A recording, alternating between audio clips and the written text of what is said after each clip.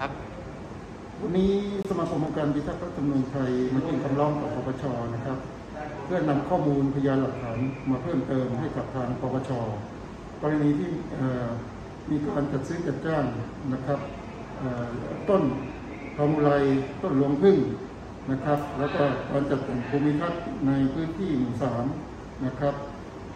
ของจังหวัดพังงานะในบริเวณหน้าศูนย์ราชการจังหวัดเชียงานะครับ ซึ่ง เราทราบว่ามีการ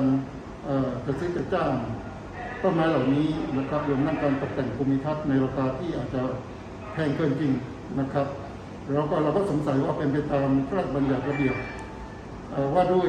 การจัดซื้อจัดจ้างและการบริหารพัสดุภาครัฐปี 60 หรือไม่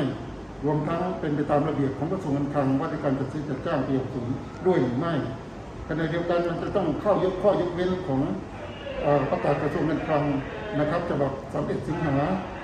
ด้วยหรือไม่อันนี้เป็นข้อสงสัยที่เราอยากจะให้ทางปปชส่วนกลางนะครับ ส่งเรื่องไปยังปปชจังหวัดพังงาซึ่งได้ลงพื้นที่ตรวจสอบแล้วเนี่ยว่ามีการดำเนินงานเป็นไปโดยชอบ หรือไม่หรือว่าเป็นการ